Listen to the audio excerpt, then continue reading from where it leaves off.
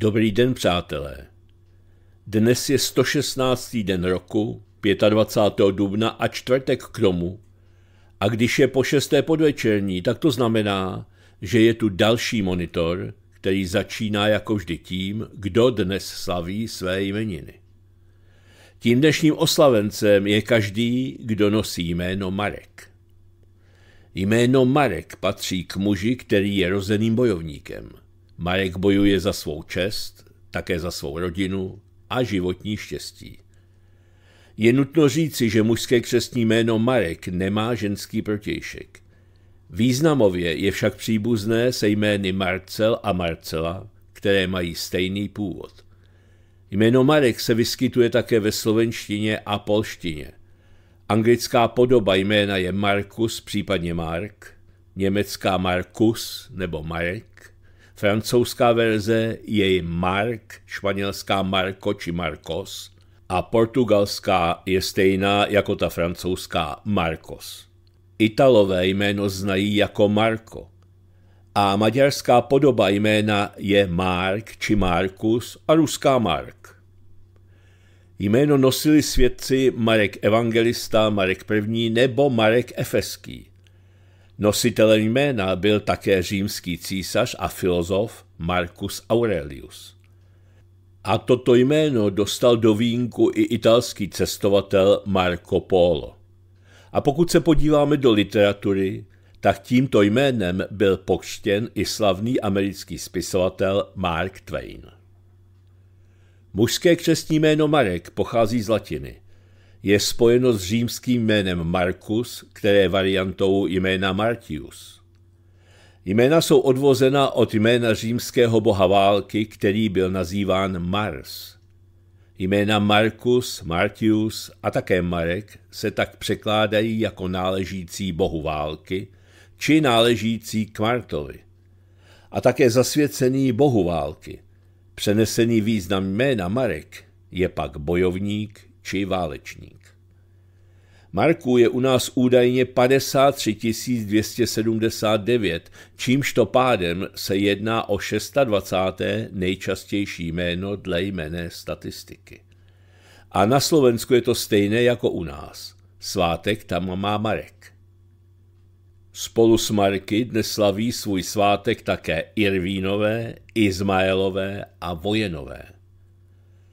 No a dnes je také Světový den malárie a máme také den DNA. Ještě dodám, že do konce roku zbývá 250 dní a je to také nejpozdější možné datum Velikonoc. A teď pojďme k našemu malému historickému okénku. 25. dubna 1142 moravské oddíly Konráda Znojemského, podpořené vojenskými družinami některých českých velmožů, se střetly se silami českého knížete Vladislava II. v bitvě u Vysoké. 25. dubna 1372 se souhlasem krále Karla IV. byla založena samostatná právnická univerzita odtažená od Pražské univerzity – Vysoké učení právnické zaniklo na počátku husického revolučního hnutí. A 25. dubna 1599 se narodil anglický Lord Protector Oliver Cromwell. 25. dubna 1626 v průběhu 30-leté války Waldstein rozdrtil Mansfeldovo vojsko v bitvě u Desary a roku 1719, 25. dubna, Daniel Defoe vydal fiktivní román o trosečníkovi Robinsonu Crusoe, který strávil 28 let na opuštěném ostrově. Bylo to napsáno podle příběhu námořníka Alexandra Selkirka. 25. dubna 1919 byl založen Bauhaus, škola pro výtvarné umění, architekturu a umělecké řemeslo a 25. dubna 1935 Národní demokracie vedená Karlem Kramářem, Národní liga vedená Jiřím Stříbrným a Národní fronta vedená Františkem Marešem se sloučili v novou stranu s názvem Národní sjednocení. a jsme u 25. dubna 1945. To bombardéry 8. letecké armády USAF provedli masivní nálet na Škodovy závody a letiště Bory v Plzni, přičemž na misi, jak američané dodnes pojmenovávají bombardování svých cílů, bylo nasazeno 589 bombardérů a 486 stíhačů. Škodovka byla ze 70% zničena a letiště přestalo být provozu schopné. Nepřesně schozené pumy způsobily značné škody ve čtvrtích Skvrňany a Karlov. Dodejme, že se tak stalo pouhé dva týdny před koncem války a tři týdny po schválení košického vládního programu, programového dokumentu, který po příchodu na československé území schválila tehdejší vláda 5. dubna 1945 na zasedání v Košicích. V něm se počítalo i se znárodněním, takže by se Škodovy závody staly národním podnikem a nedostali se zpět do rukou západních akcionářů. Mimochodem, na plzeňskou Škodovku bylo těch náletů několik. Nikdy ji pořádně netrefili, až toho 25. dubna 1945. Co si o to myslet? Asi to samé, co o náletech na Prahu, zejména o tom druhém. Ale pojďme dál. V tento den také došlo k další veledůležité události na konci druhé světové války, kdy se vojáci sovětské páté gardové armády a americké první armády setkali na laby u saského města Torgau. Spojením východní a západní fronty tak bylo dobyto téměř celé Německo a zároveň rozděleno na dvě sféry vlivu. 25. dubna 1950 v Československu byl odvolán ministr národní obrany Ludvík Svoboda a místo něj byl jmenován Alexej Čepička. 25. dubna 1996 dosáhla první česká polární expedice severního pólu. A ještě si připomeňme, že 25. dubna 2005 byl Jiří Paroubek jmenován předsedou vlády. Tak tím bychom byli na konci malého historického okénka. Po několika monitorech, kdy jsme neměli k dispozici žádnou pronostiku, tak dnes jich máme jedenáct. Tak jako obvykle vyberu jen tři. Ta první praví Jiří a Marek, mrazem nás zalek. Druhá říká, brambory sázej na svatého Marka, bude jich plná jamka. No a ta třetí, před 25. vřeskot žáby nepříjemnou povětrnost vábí. Tak to by byly pranostiky a po pranostikách přichází obvykle na řadu teplotní rekordy a nebude tomu jinak ani dnes 25. dubna.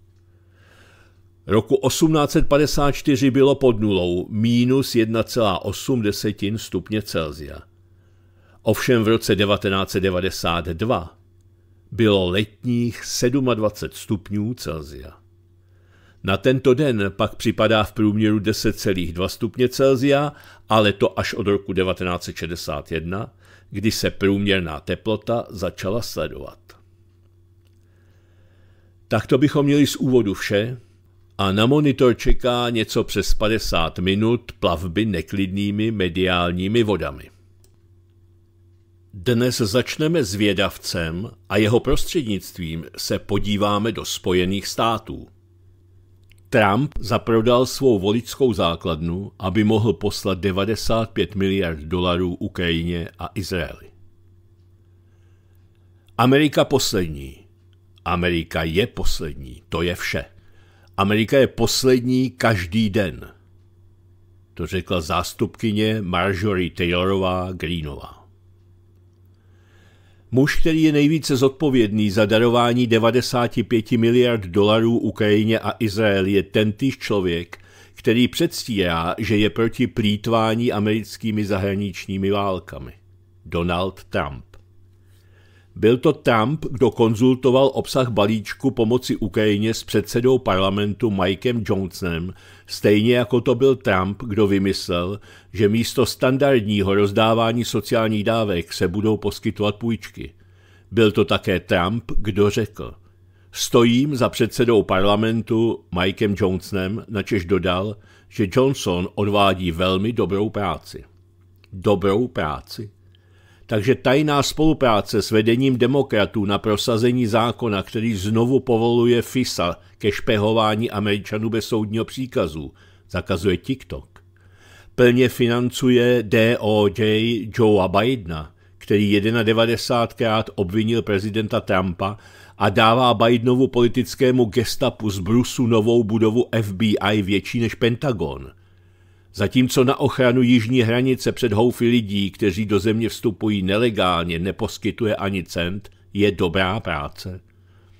Otázka, kterou bychom si měli všichni položit, zní, proč se Trump rozhodl podílet na tomto podvodu? Neustále opakuje, že kdyby byl prezidentem, ukončil by válku na Ukrajině během jednoho dne. Pokud to myslí upřímně, proč tedy spolupracoval na návrhu zákona, který válku protáhne o další rok či dva?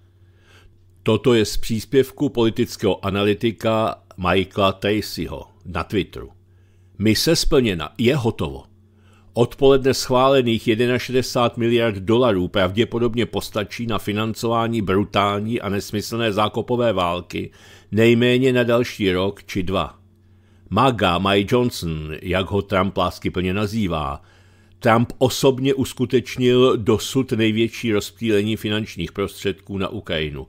A to po stále stejném nekonečném mediálním ječení, že Trumpovi a maga republikánům Putin vymývá mozek a že Ukrajinu nikdy financovat nebudou. Ten základní hoax pokračuje, jenže tentokrát v tom jel Trump. Podepsán Michael Tracy, Twitter. A reakce Luka Cabriho. Michael, máš stoprocentní pravdu. Trump mohl kdykoliv tento monstrózní zákon zabít, kdyby chtěl, ale neudělal to.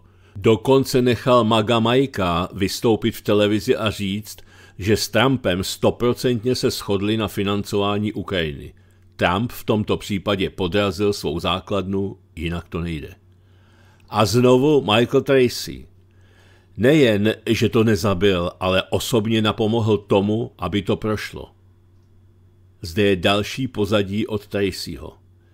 Návrh zákona navržený po konzultacích mezi Mikem Johnsonem a Trumpem záhadně dává prezidentovi možnost odpustit údajnou půjčku Ukrajině a to hned po listopadových volbách. A pokud vám to nepřipadá dost drzé, tady je háček. Prostředky, které lze půjčku odpustit, jsou přímé rozpočtové injekce Ukrajině, tedy peníze, z nich se platí platy ukrajinských státních zaměstnanců a tak dále. Ne vojenská pomoc, která tvoří naprostou většinu balíčku takže pouze 8 miliard dolarů z 61 miliard dolarů určených pro Ukrajinu je podle podmínek tohoto obrovského zákona dokonce způsobilých pro odpuštění půjček. A dokonce i tato půjčka byla od počátku falešná, vůbec nikdy nemusela být splacena – takže tady máte poslední Trumpovu a Johnsonovu lumpárnu, když se sněmovní GOP chystá prosadit největší přísun amerických daňových dolarů na Ukrajinu, a to zdaleka od začátku války. A to vše s Trumpovým požehnáním, jak dal Johnson jasně najevo – aby potrhl svou úzkou spolupráci s Trumpem, strávil Johnson posledních několik dní objížděním různých konzervativních médií, kde vychvaloval zahrnutí Trumpova konceptu půjčky do návrhu zákona. Všechno je to jedna velká hra na skořápku a Trump s ní hraje, aby si vylepšil své politické vyhlídky. Jak jinak si vysvětlit jeho vystupování v této chmurné šarádě? Trump zjevně ví, že jeho návrat do Bílého domu bude vyžadovat značný kompromis jestřáby národní bezpečnosti a sionisty, kteří řídí vládu. Neměli bychom se tedy příliš divit, že se jim nyní snaží vetřít do přízně. Ale pro lidi, kteří si mysleli, že Trump je přímý střelec, tohle musí být skutečné otevření očí. Mysleli si, že se mu dá věřit, ale teď je zřejmé, že je to jen další falešník z Beltway, který se snaží vetřít do přízně washingtonské mocenské elity, aby se mohl se svou ubohou prdelí znovu protlačit do oválné pracovny. Tady je více informací od Tracyho. Slon v místnosti je skutečně Donald Trump. Trump dokonce přímo varoval poslankyni Marjorie Taylorovou Greenovou, aby Johnsona nevyháněla, a to během jejich společné tiskové konference v Mar-a-Lago minulý pátek 12. dubna, těsně předtím, než Johnson představil svou strategii financování války, k níž hrdě prohlašuje, že si zajistil Trumpovu podporu. Návrh zákona dokonce obsahuje Trumpův opakovaný požadavek, aby financování Ukrajiny bylo strukturováno jako takzvaná v uvozovkách půjčka. Johnson prohlašuje, že on a Trump jsou v této věci stoprocentně jednotní. Trump využil svého obrovského politického kapitálu, co by trojnásobný republikánský prezidentský kandidát, aby sehrál svou roli a zajistil, že americký politický systém se zmobilizuje v dokonalé schodě, aby uvolnil 100 miliard dolarů na financování nekonečné války. Pokud je Trump ochoten sehrát takovou obojetnou roli při zajišťování financování nekonečných válek, proč by ho pak pro boha měl nějaký chudokrevný konzervativec volit? Jedním z mála lidí, kteří se v tomto fiasku zachovali čestně, je poslankyně Marjorie Taylorová Greenová, která je zjevně jedním z mála členů kongresu, jimž na americkém lidu skutečně záleží. Greenová včera po hlasování o balíčku pomoci Ukrajině přednesla na půdě sněmovny reprezentantů epickou tirádu. Její srdcerivné vystoupení se samozřejmě nikde ve výprodejových médiích neobjevilo, tak jsem většinu jejich slov přepsal a stojí to za to. Daňoví poplatníci Spojených států již poslali na Ukrajinu 113 miliard dolarů a velká část těchto peněz je nezúčtovaná. To je příklad nemocného obchodního modelu, v němž chce vláda USA pokračovat. Kongres hlasuje pro peníze na zahraniční války, které američané nepodporují. Američané nepodporují obchodní model založený na krvi, vraždách a válkách v cizích zemích, zatímco vláda nedělá nic pro zabezpečení našich hranic. Američané jsou zadluženi více než 34 biliony dolarů a dluh každou noc roste o 40 miliard, zatímco my všichni spíme. Ale pro zabezpečení našich hranic ani pro snížení našeho dluhu se nic nedělá. Inflace stále roste každým dnem, a američané si sotva mohou dovolit zaplatit účty za potraviny, sotva si mohou dovolit natankovat benzín do svých aut a sotva si mohou dovolit zaplatit nájem. A nyní průměrná splátka hypotéky přesahuje 3000 dolarů, zatímco před třemi lety činila pouhých 1700 dolarů. Mladí američané si myslí, že si nikdy nebudou moci koupit dům a přesto si dnes tento kongres myslí, že nejdůležitější věcí, kterou by měl udělat, je poslat dalších 61 miliard dolarů na válku na Ukrajině, kterou američané ze 70% nepodporují. Ale dnes si tento orgán myslí, že nejdůležitější věc, kterou bychom měli udělat, není snížení výdajů, snížení inflace nebo zabezpečení našich vlastních hranic, které jsou každý den napadány lidmi z více než 160 různých zemí. Máme více než 1,8 milionu uprchlíků a nevíme, kdo tito lidé jsou a přesto máme lidi právě v tomto kongresu, kteří mluví tvrdě a říkají, musíme porazit Rusko. Ach, musíme chránit Ukrajinu a přesto vy všichni nejste ochotni chránit americké občany, kteří vám platí plat, platí vás za to, aby se svítilo a platí za to, aby federální vláda fungovala. A kvůli čemu? Za nic.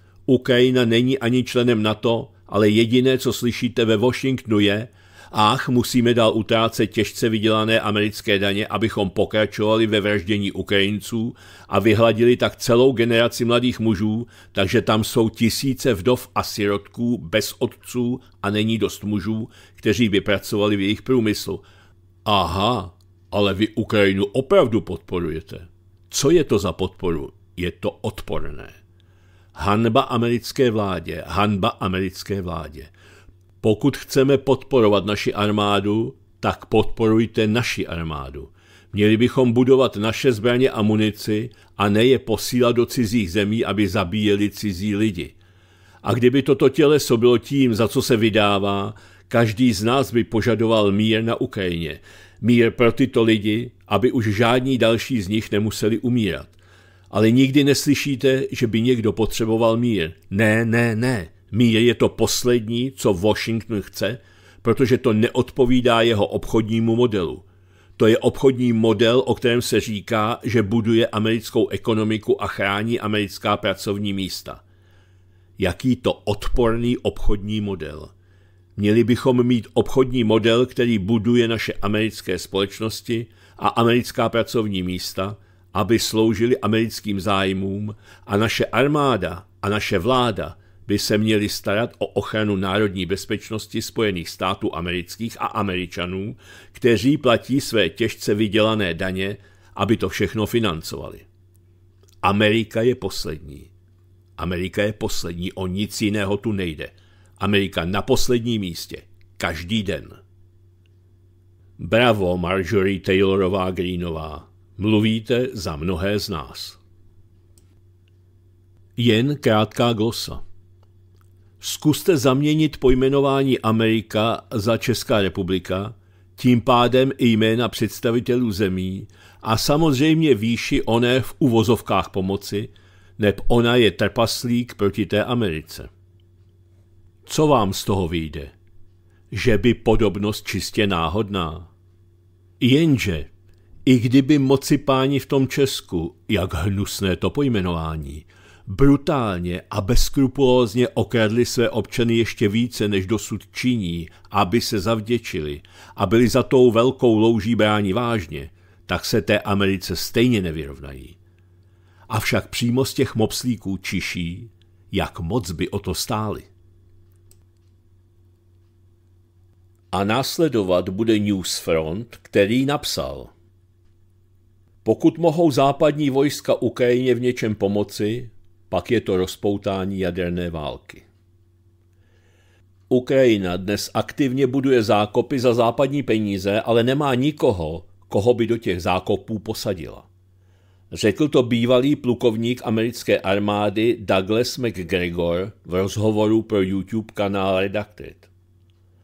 Zbývající vojáci ukrajinských ozbrojených sil se hromadně vzdávají a nejzarytější stoupenci kijevského režimu prostě odmítají bojovat. A pokud Západ skutečně vyšle na Ukrajinu vojáky, nijak tím Ukrajincům nepomůže, ale s největší pravděpodobností vyvolá jadernou válku. Jak dnes napsali z Financial Times, Ukrajinci věří, že 61 miliard dolarů americké pomoci Rusko nezastaví. Vědí, že to k ničemu nepovede. A to je titulní strana Financial Times. Kam tedy, jak poznamenáváte, tyto peníze půjdou? půjdou do vojensko-průmyslového komplexu nebo je rozkradou, jak Zelenského v lednu varoval šéf CIA William Burns, když řekl, přestaňte krást naše peníze. Chápeme, že tyto peníze budou jednoduše spláchnuty do záchodu. Ale zároveň, pane plukovníku, vidíme, jak kopou zákopy. Nové, jako by šli do domácího skladu, nakoupili všechny ty krásné oplocení, všechno nové, zahradní plotové sloupky a překlišky a teď všichni kopou ty obrovské zákopy s opevněním. Takže jsme opravdu svědky návratu k zákopové válce z první světové války, na kterou se budou v příštích letech vynakládat peníze. Je tu několik problémů. Za prvé, kopat zákopy je velmi snadné, mají na to stroje a ty jsou opravdu úžasné. Jsem si jistý, že kdybychom skřísili armády z první světové války a ukázali jim tyto stroje, prostě by žasli. Vždyť předtím je lidé museli kopat ručně. Tato vozidla mohou projet pole za 30 minut a vykopat dostatečně velké zákopy, aby se do nich vešlo jakékoliv vybavení a vojáci. Tyto zákopy lze rychle spevnit vyplněním betonem. Není to tedy nic složitého – Problém je v tom, kde se seženou ukrajinští vojáci, kteří by tyto zákopy vyplnili. Nebo doufají, že je zaplní vojáci NATO? A nějak si nedovedu představit, že by s tím ukrajinští vojáci souhlasili. Minulý týden byla jedna z jednotek Azov útvarem o velikosti praporu, jednu dobu to možná byla větší brigáda, ve které bylo přes 2000 lidí, Celkově tento posílený prapor neonacističtí fanatici loajální režimu odmítli bojovat, prostě řekli nebudeme útočit, nebudeme to dělat, nejsme připraveni umírat při dalším nesmyslném útoku. A tak se stalo. V jiných případech velké množství ukrajinských vojáků také prostě řekne, to je vše, vzdáváme se. A Rusové velmi účinně vyzývají ke kapitulaci. Ukrajinci z rozhovorů se svými kamarády, kteří se před mnoha lety vrátili z Ruska a byli zajati, vědí, že se tam s nimi zacházelo dobře. Takže vědí, že Rusové na ně nebudou vrčet.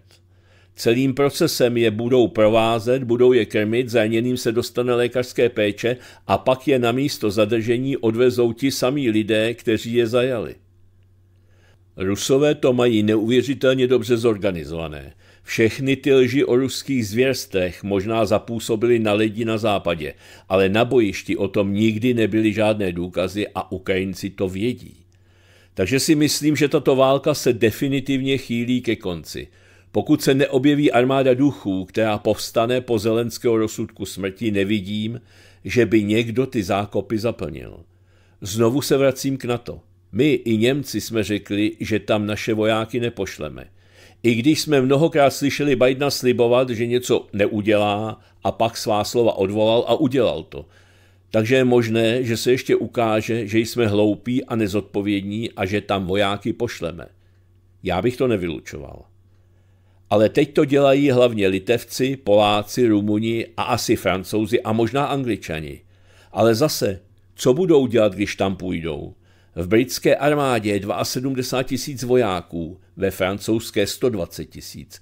I kdyby je tam poslali všechny dohromady, nespůsobí ruským vojákům, kteří jsou v současnosti rozmístěni na Ukrajině, je jich tam přes 800 tisíc ani škrábnutí. Naše síly nemají šanci zasáhnout. Mohou však rozpoutat válku v plném rozsahu. To nás opět staví na cestu ke dvěma velkým válkám, které mohou přerůst v jadernou válku. Jedna ve východní Evropě a druhá na Blízkém východě. Vyberte si. Člověk by si myslel, že každá rozumná administrativa bude mít zájem na zmírnění napětí a držet se od takového vývoje co nejdál. Ale to se nestalo. A další příspěvek se bude týkat téhož problému. Portál Foreign Affairs napsal a Pokec 24 převedl do češtiny. A když už, tak na to s tím nemá nic společného.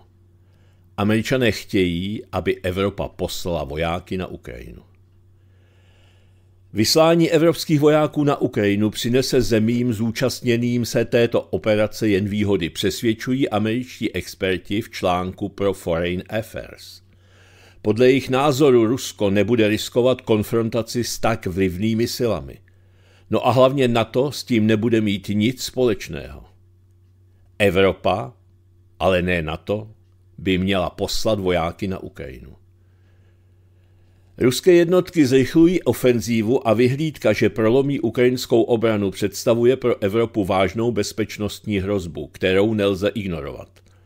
Ruské vítězství na Ukrajině by naplnilo revizionistické aspirace prezidenta Vladimíra Putina a posílila jeho víru v údajné slabiny Západu.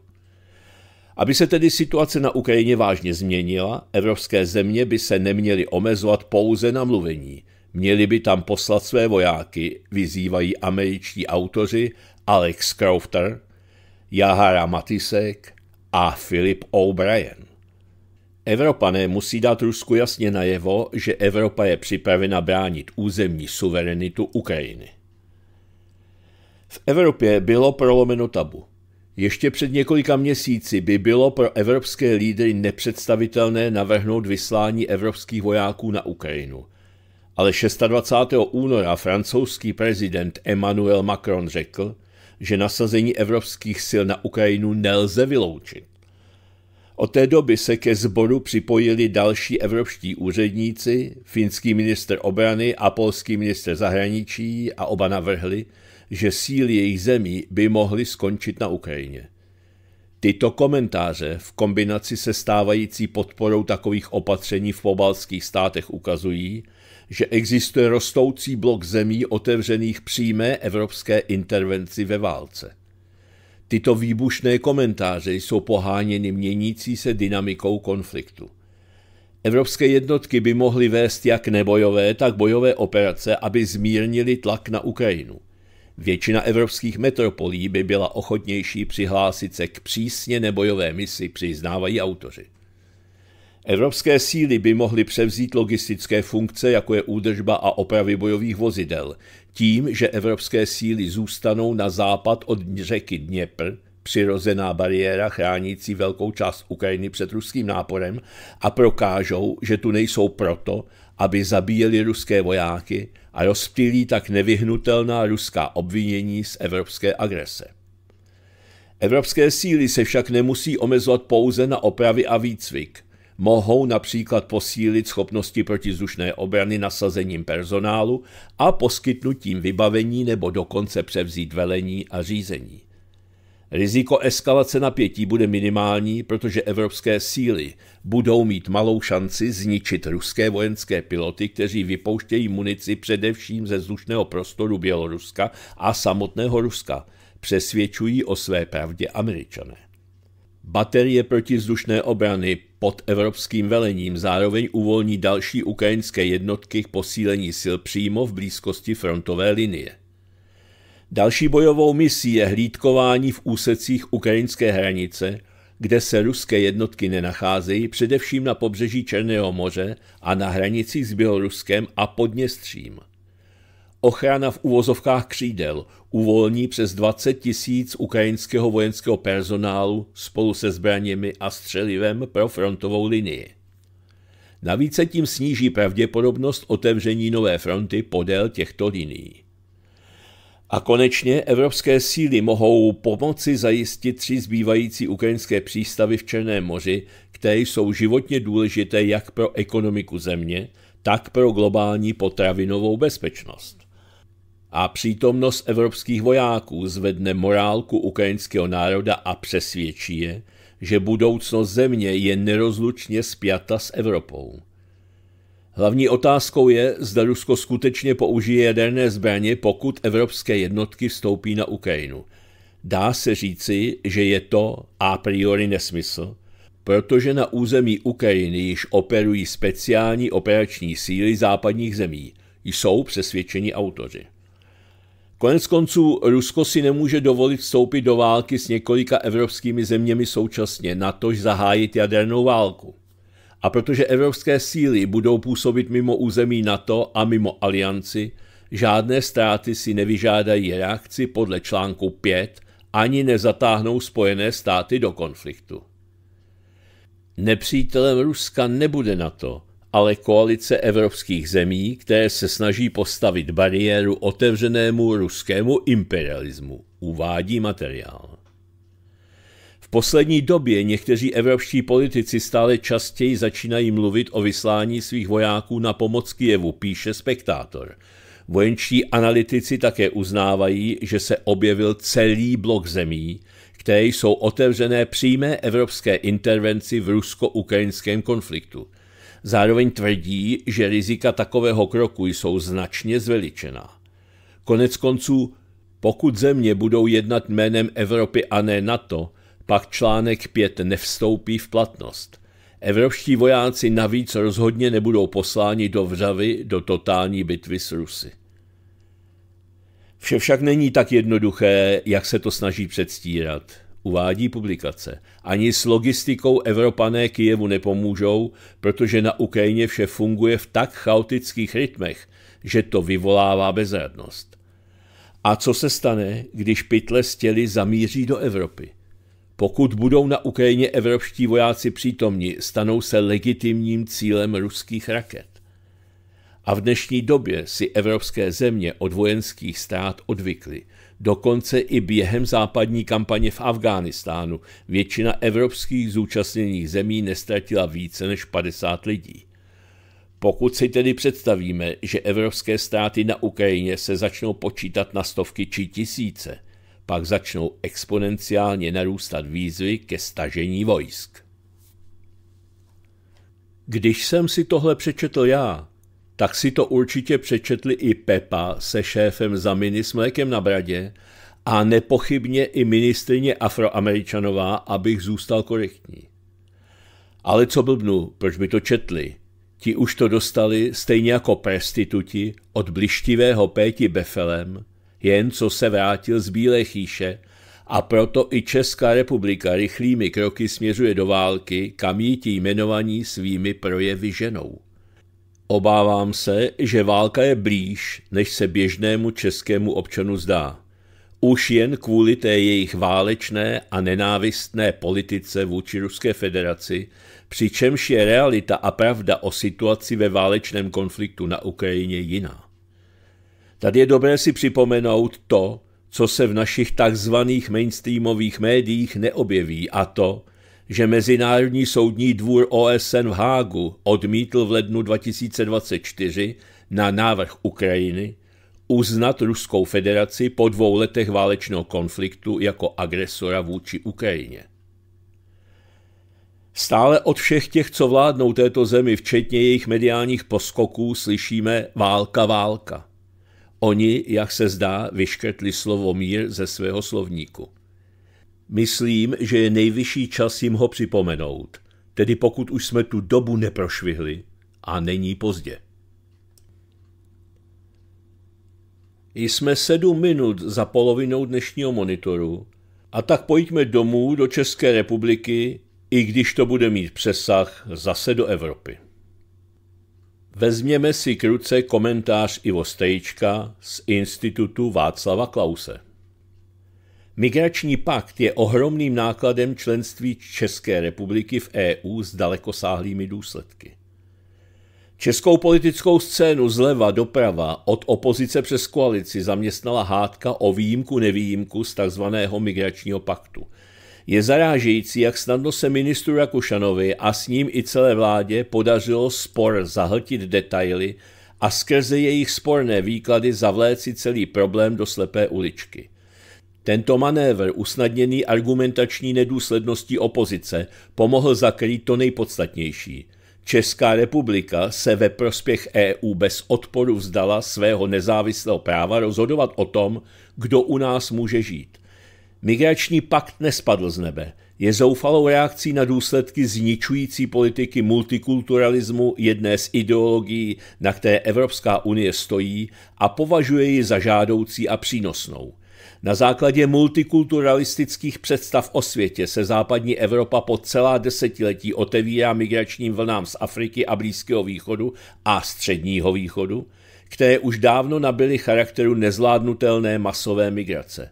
Diskuze v Českém parlamentu o výjimce je proto zavádějícím sporem, neboť spor by měl být veden o samotnou obsahovou i formální podstatu současného evropského unifikačního procesu, o dnešní Evropské unii, o jejich politikách a naší politické neschopnosti či slabosti těmto trendům vzdorovat. Vládní fialová koalice proti migračnímu paktu nic zásadního nemá, ale debata o výjimce nevýjimce jí nemůže vyhovovat. Nebezpečně to totiž upozorňuje veřejnost na drsnou realitu, že otázka migrace nejen nezmizela, ale naopak se České republiky začíná přímo dotýkat. Opozici sice nabízí debata o výjimce nevýjimce v předvolebním období vhodnou politickou munici, ale to podstatné nezaznělo od nikoho. Rakušanovým podpisem a vládním přikývnutím na migrační pakt jsme se ve prospěch EU vzdali výlučného práva samostatně a svobodně rozhodovat o tom, kdo u nás v budoucnosti bude žít a komu my sami povolíme bydlet na našem území. Už to nebudeme my, kdo bude rozhodovat o podmínkách přidělování pobytu v České republice. Už to bude Evropská komise a je zcela hostejné, zda jsme si vyjednali výjimku nebo ne. Ostatně historie existence naší země v Evropské unii má své vlastní zkušenosti s bruselským dodržováním výjimek. Věřit, že výjimky jsou pro úředníky v Evropské komisi něčím posvátným, je bláhové a naivní. Jediné, čemu evropské instituce rozumí, je uplatnění práva VETA. Tím bez váhání pohrozili Slováci, Maďaři a dokonce i pro bruselský Tusk. Česká vláda ne. Vzdání se práva svobodně a autonomně rozhodovat o asilové politice ve prospěch EU je zcela bezprecedentní a kolosální politické selhání Rakušana, Fialy a celé jejich koaliční vlády, kde vzali mandát, aby své volně, bez rozsáhlé a vážné diskuze v parlamentu, když už názor veřejnosti tuto vládu dávno nezajímá, zavlekli Českou republiku do migračního marazmu – což dnes a denně nepřibývá informací o sociálních, společenských, ekonomických i bezpečnostních problémech, kterými si Německo, Francie, Itálie, Belgie nebo Nizozemí v souvislosti s nezvládnutou migrací procházejí. Zeptala se vládní koalice v minulých volbách voličů, co si o tomto problému myslí. Nabídla jim racionální řešení. Proč Fialová vláda nepodnikla něco podstatného, nebo alespoň proces přijetí migračního paktu zpomalujícího v rámci tolik opěvovaného českého předsednictví EU? Neudělala nic. Jen veřejnost opí představou, že budeme mít jakousi výjimku. Schraňme si to tedy. Téma masové migrace je mimořádně závažným fenoménem rozhodujícím o budoucnosti významné části evropského kontinentu – své kořeny má v ideologii multikulturalismu, která je jedním z nedotknutelných stavebních kamenů politik Evropské unie. Migrační pakt je reakcí západní části EU na masivní příliv imigrantů do jejich prostoru. Cílem paktu je přesměrovat migranty do zemí, kam primárně nesměřují, tedy i do České republiky. Tím, že Fialová vláda prostřednictvím ministra Kušana tzv. migrační pak akceptovala, dobrovolně a svévolně se ve prospěch institucí EU vzdala práva na výkon národní nezávislé politiky o tom, kdo u nás bude žít. K takovému rozhodnutí s tak dalekosáhlými důsledky Fialová vláda neměla mandát od českých voličů a její rezignace na tak výlučně národní pravomoc, jakou je rozhodování o tom, kdo v naší zemi může žít či má žít, je neomluvitelná. Diskuze o výjimce či nevýjimce už je pouze sporem o technicistní detail řešení.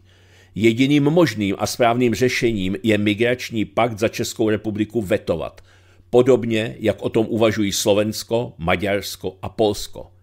Fakt, že Fialová vláda nechce problém řešit podobně razantně, je důkazem její vazalské, nekritické probruselské politiky.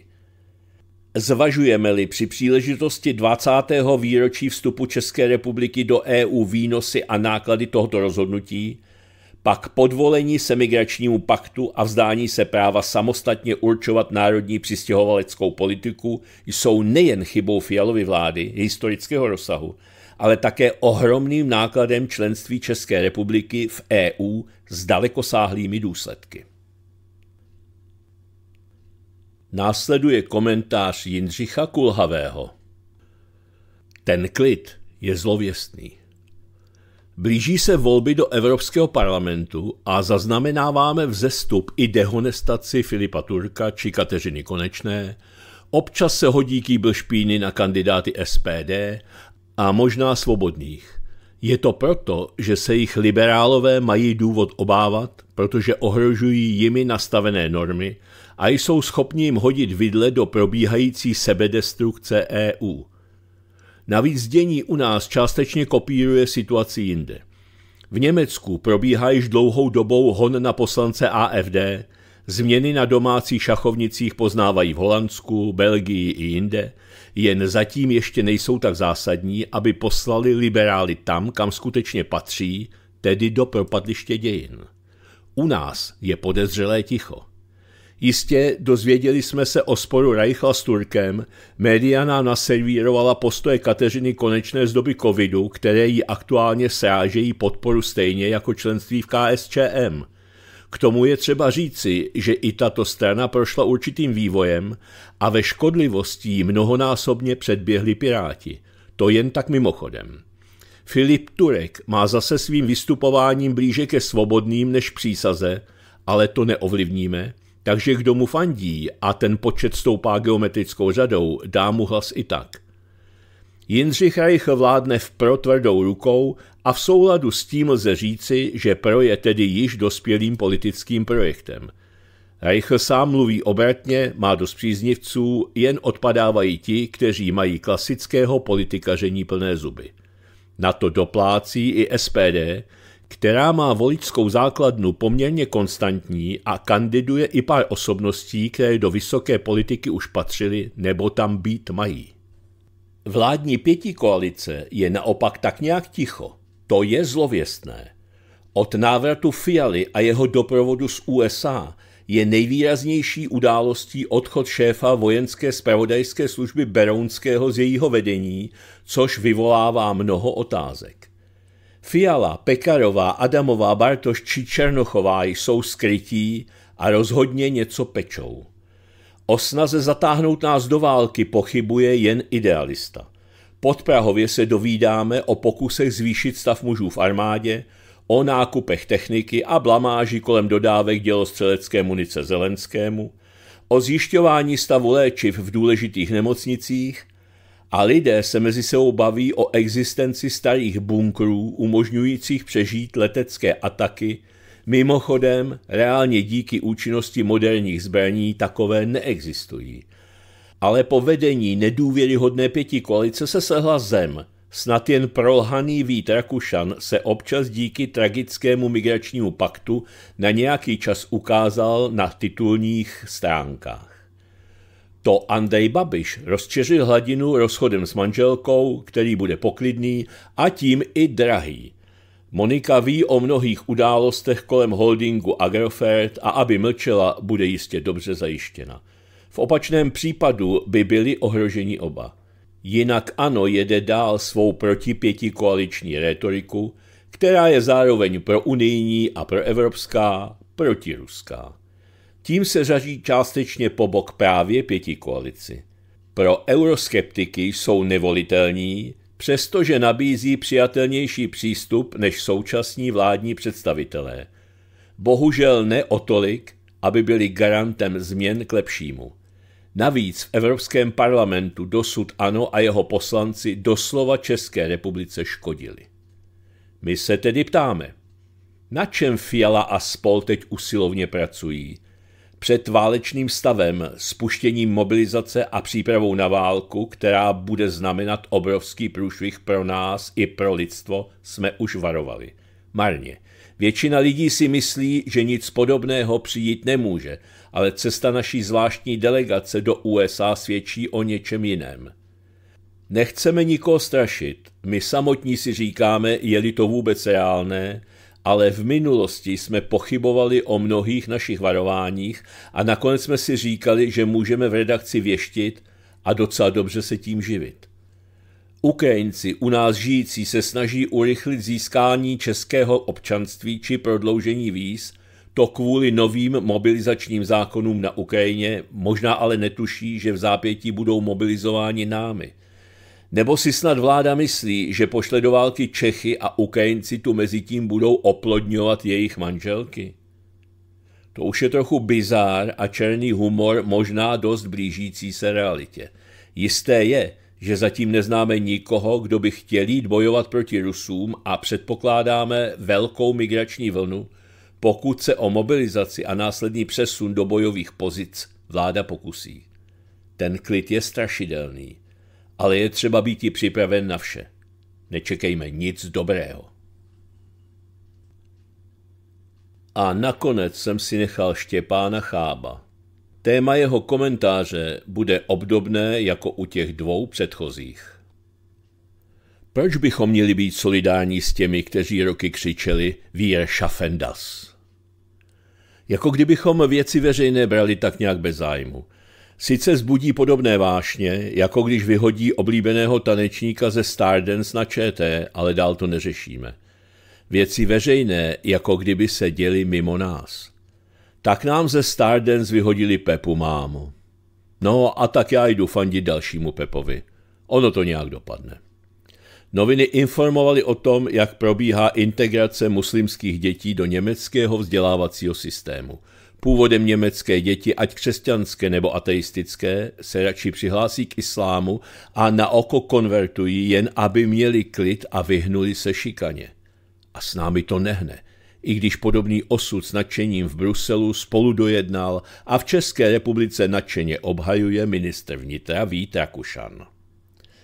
Text na novinkách byl fascinující, jako z jiného světa, o kterém si čteme v nějaké zvrácené dystopii. Cituji. V německých školách zuří náboženská válka.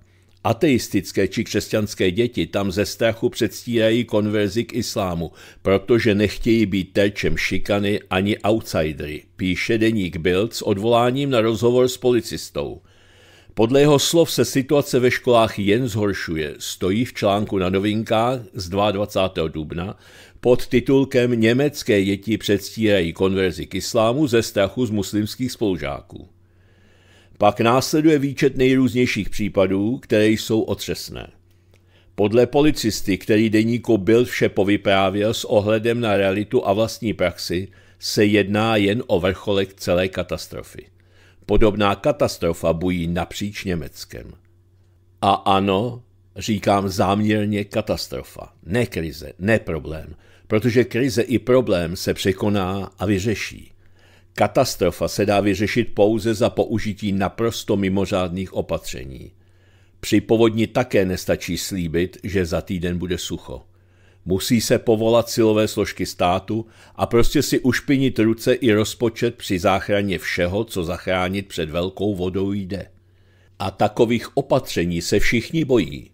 Když se jedná o citlivé téma už teď vlastně pocitově nadřazeného islámu.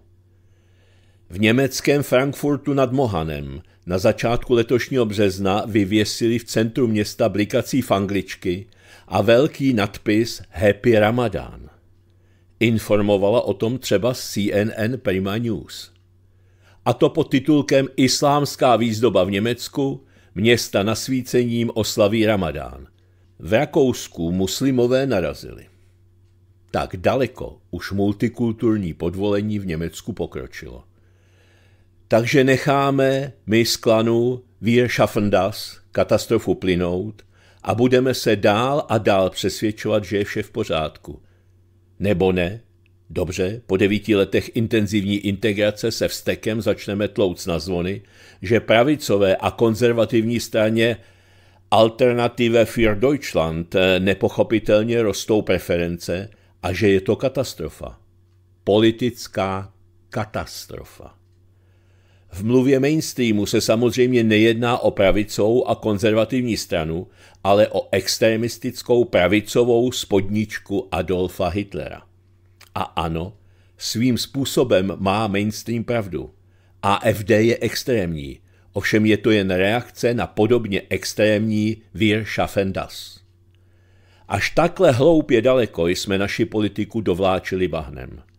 Na extrém je reakcí jen další extrém – v Německu muslimští výrostci tlučou a šikanují německé děti na školách takovým stylem, až ty radši konvertují k islámu, aby měli klid.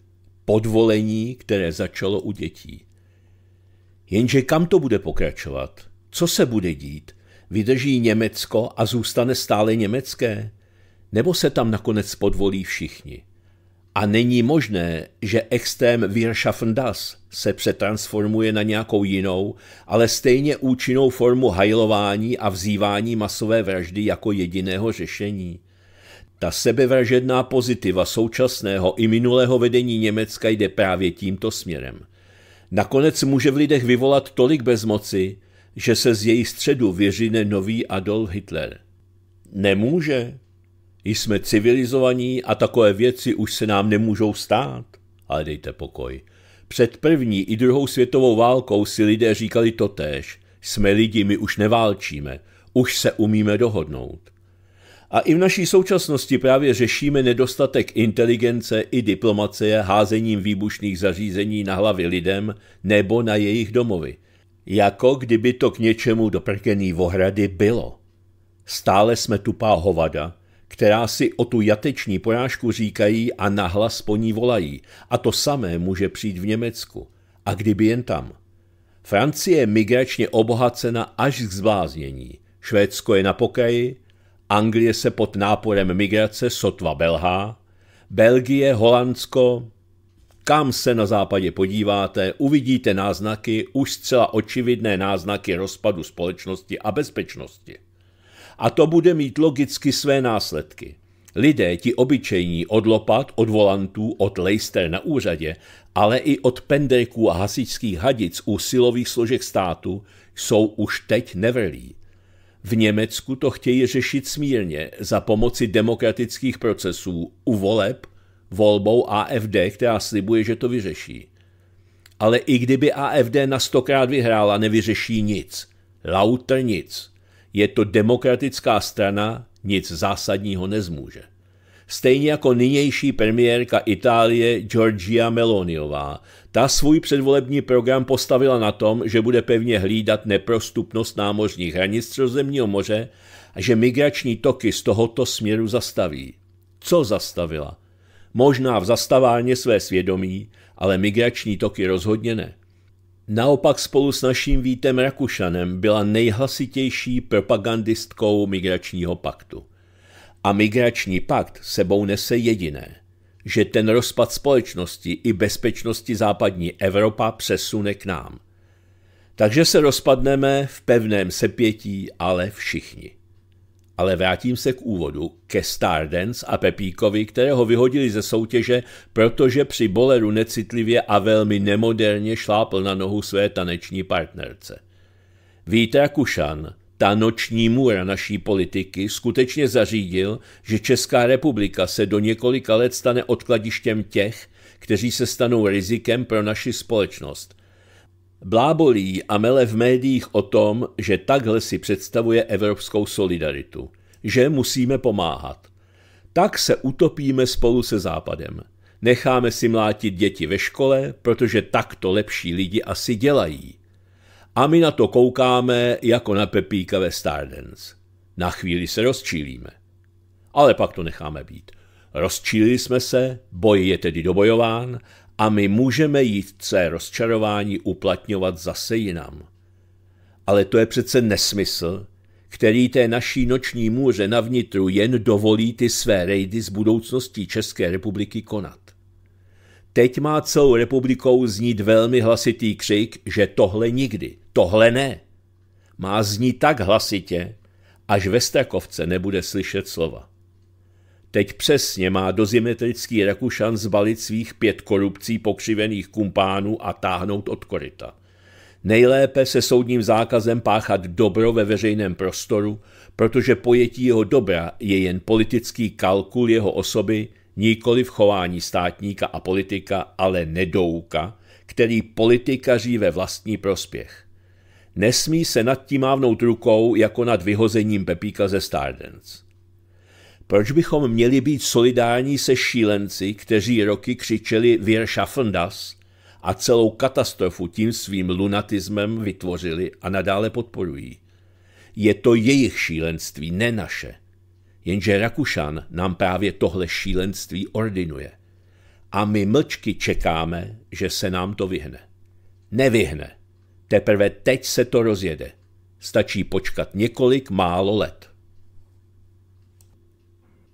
Tímto komentářem Štěpána Chába jsme se dostali na samý konec dnešního monitoru. A tak, než dnes úplně skončím, tak přidám jeden citát, který se vztahuje k několika dnešním tématům. A pak jednu malou informaci pro ty, kteří studio Kalich poslouchají pravidelně. Benjamin Kuras řekl, Islamofilové by měli přestat lhát o pokojné migraci. Do 20 let budou západoevropané v evropských městech menšinou. Migrace se mění v kolonizaci. A po citátu na závěr je tu ona avizovaná informace. V nejbližší pondělí a úterý, tedy 29. a 30. studio Kalich nebude vysílat, ovšem vrátí se na vlny svobodného rádia za týden, tedy příští čtvrtek. Teď už se od mikrofonu monitoru studia Kalich Svobodného rádia loučí a na setkání příští čtvrtek, ovšem dáli Bůh a cenzor, se těší Ivan Votava. Naschledanou.